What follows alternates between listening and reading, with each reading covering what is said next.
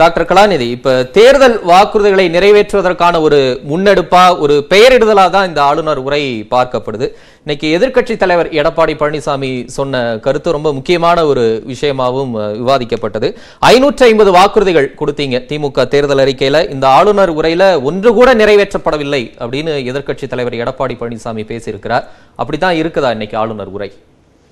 இல்ல அதாவது நீங்க ஒண்ணு புரிஞ்சுக்கணும். நீங்க தேர்தல் நடந்த நேரத்திலும் அந்த தேர்தல் முடிவுகள் அறிவிக்கப்பட்ட நேரத்திலும் நமக்கு இருந்த அந்த ஒரு அசாதாரண சூழ்நிலை அதாவது இந்த கொரோனா அப்படின்றது வந்து எப்படி வந்து ஒரு பை லீப்ஸ் அண்ட் பவுன்ஸ் அது வந்து எந்த அளவுக்கு வந்து கேசஸ் அதிகமாச்சு ஸோ இந்த இன்ஃபேக்ட் இந்த அரசாங்கம் வந்து பதவி ஏற்றுக்கிட்டப்ப கூட இது நாங்கள் வந்து ஒரு ஒரு it was not a celebration அது வந்து ஒரு கொண்டாட்டமாக நாங்கள் அதை எடுத்து செல்லவில்லை.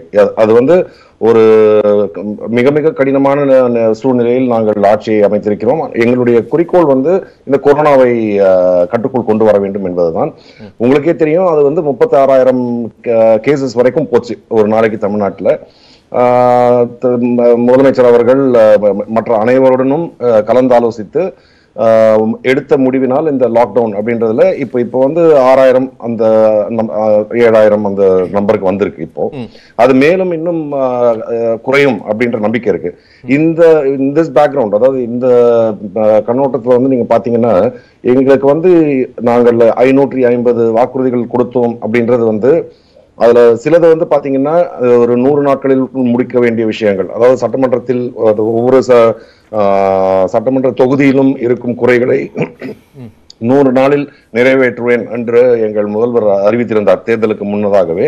அது வந்து வேற. அந்த திட்டம்ங்கிறது வந்து முதலமைச்சரின் தனி பார்வையில அதுக்கு ஒரு செயலாளர் நியமிக்கப்பட்டு முதலமைச்சரின் நூறு நாள் தீர்வு காணும் திட்டம்ங்கிறது வேற.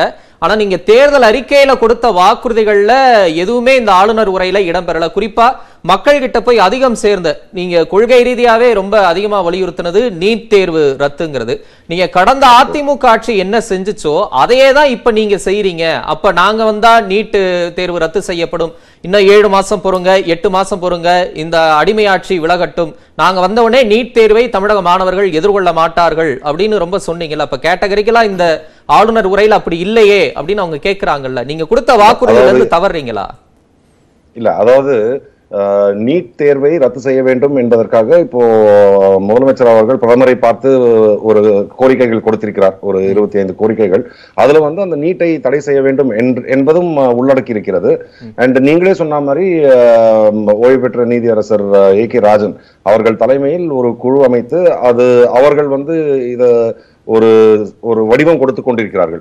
அதாவது நீங்க எப்படின்னு பாத்தீங்கன்னா இந்த நீட்டை நிறுத்த வேண்டும் என்றால் உங்களுக்கு வந்து ரெண்டு இருக்கு. ஒன்னு ஆர்டினன்ஸ் அப்படின்றது வந்து மத்திய அரசாங்கம் அவர்களாக கொண்டு வர வேண்டும். அது நடக்காது. அது வந்து நாங்கள் அதற்கு வலியுறுத்துவோம்.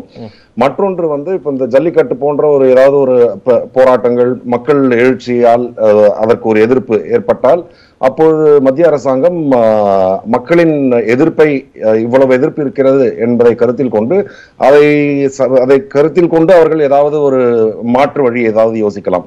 நீட்டை தடை செய்வதற்கு அப்படின்னு சொல்லி.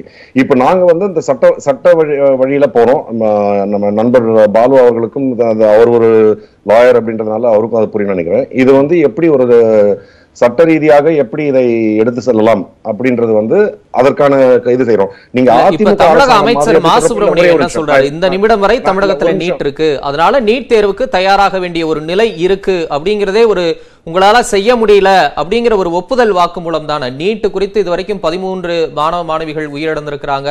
தமிழகத்தின் சமூக நீதிக்கான ஒரு சம்மட்டி அடின்னு அப்படி நீங்க களத்துல வலிமையா பேசுனீங்க. நீட் தேர்வை ரொம்ப முக்கியமான ஒரு முழக்கமா முன் வச்சீங்க. இப்ப அங்க உங்களால செயல்படுத்த முடியாத இல்ல இதற்கு முந்தைய இருந்த ஆட்சியில செஞ்ச விஷயத்தையே நீங்க செய்றீங்க. இதனால என்ன பலன் வரப்போகுது? தெளிவான ஒரு செயல் திட்டம் இல்லை அப்படிங்கிறாங்க. இல்ல அந்த தெளிவான செயல் திட்டத்துக்கு தான் நான் வந்து உங்களுக்கு எக்ஸ்பிளைன் பண்ணிட்டு இருக்கேன் நான். அதாவது எப்படி இந்த இதுன்றது. அண்ட் அதே மாதிரி நீங்க வந்து சென்ற ஆட்சியில் அதிமுக அரசாங்கம் செய்ததை போல் நாங்கள் செய்கிறோம் அப்படின்றது வந்து ஒரு சிறு அது கரெக்ஷன் வந்து ஐ வாண்ட் மேக் அதாவது நீங்க வந்து சென்ற முறை பாத்தீங்கன்னா அவங்க வந்து குடியரசுத் தலைவருக்கு எழுதுறாங்க. எழுதிட்டு அதற்கு வந்து ஒரு பதில் வருகிறது. அதற்கு வந்து ஒரு மூன்று மாதமோ ஆறு மாத காலத்தில் ஒரு பதில் வருகிறது. ஆனால் ஒன்றரை வருடம் அதை வந்து அது சட்டசபையில அது வந்ததுன்ற அந்த- அதை பற்றி பலமுறை அதை பேச்சு வந்த பொழுதும் அந்த கடிதத்திற்கு ஒரு பதில் வந்தது என்ற தகவலை அவர்கள் சொல்லவே இல்லை. அதை வந்து ஒரு ஒரு உரிமை ரைட் டு இன்ஃபர்மேஷன் ஆக்ட்ன்ற மாதிரி இருந்தா போட்டு வாங்கி அதுக்கப்புறமா வந்து தெரிய வருது. இது மாதிரி அது கூட டெல்லியில இருந்து தான் எங்களுக்கு வந்து தெரிய வருது. அதற்கப்புறமா வந்து சட்டமன்றத்துல வந்து அதை எழுப்பும் பொழுது ஆமாம் வந்திருக்கு அப்படின்னு சொல்லிட்டு அது அது ஒரு கேஷுவலா மென்ஷன் பண்றாங்க. ஆனா அந்த லெட்டர் கடிதம் வந்து வந்ததுக்கு அப்புறமா இருந்தாலும் நாங்கள் இதற்கு விலக்கு வாங்குவோம். இப்போ இப்போ கூட நான் என்ன சொல்றேன்னா இதற்கு நாங்கள் விலக்கு வாங்குவோம். ஆனால் மாணவர்கள் இதனால் ஒரு ஒரு கன்ஃபியூஸ் ஆகக்கூடாது அப்படின்ற பார்வையில் நாங்க சொல்றது வந்து இந்த நீட் அப்படின்ற அந்த தேர்வுக்கான ப்ரிப்பரேஷன்ஸ் அது வந்து மாணவர்கள் தொடர்ந்து செய்ய வேண்டும். இந்த சட்ட ரீதியாக இதற்கு ஒரு அரசாணை பெறும் வரை இது வந்து கண்டிப்பாக வந்து ஸ்டூடெண்ட்ஸ் வந்து அது they have to prepare for NEET பார்க்கலாம். சொன்ன நீட் தொடர்பான வாக்குறுதியை எப்படி நிறைவேற்ற போறீங்கன்னு அதை தாண்டி இன்னும் பல விஷயங்களும் குறிப்பிட்டு காட்டப்படுது.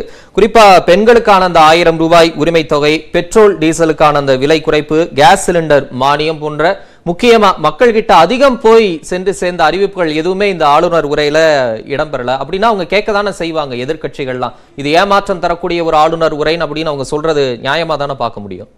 இல்ல கண்டிப்பா. அதாவது இப்போ நீங்க பாத்தீங்கன்னா ஏற்கனவே நாங்கள் வந்து கொடுத்த ஒரு வாக்குறுதியின்படி நாலாயிரம் ரூபாய் அதாவது ரெண்டு தவணையில் ரெண்டாயிரம் ரெண்டாயிரம் ரூபாய் அப்படின்றது கொடுக்கிறது அப்படின்றது அது ஒரு வாக்குறுதி கொடுத்திருந்தோம்.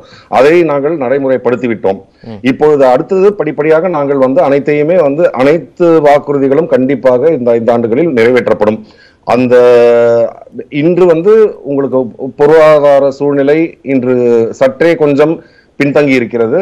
இதை சீர் செய்து கண்டிப்பாக இதை நாம் முன்னெடுத்து செல்ல முடியும் என்ற நம்பிக்கை எங்கள் முதல்வர் அவர்கள் செய்வார்கள் என்ற நம்பிக்கை எங்களுடைய நிதி அமைச்சர் அவர் அவருடைய துணையுடன் அனைவருடைய துணையுடனும் செய்வார் என்ற நம்பிக்கை எங்களுக்கு இருக்கிறது. அதே குறிப்பிட்டார்ல மலைக்கும் மடுவுக்கும் இடையிலான வித்தியாசம் இருக்கு இந்த ஆளுநர் உரையில. அவங்க எவ்வளவு வாக்குறுதிகள் கொடுத்தாங்க அது எதுவுமே இதுல இடம்பெறல ஒரு சில வாக்குறுதிகளை தவிர அப்படின்னு. அவ்வளவு வித்தியாசம் இருக்குதா இந்த இதுல எதிர்க்கட்சிகள் சொல்ற மாதிரி? இல்ல நீங்க நீங்க ஆ.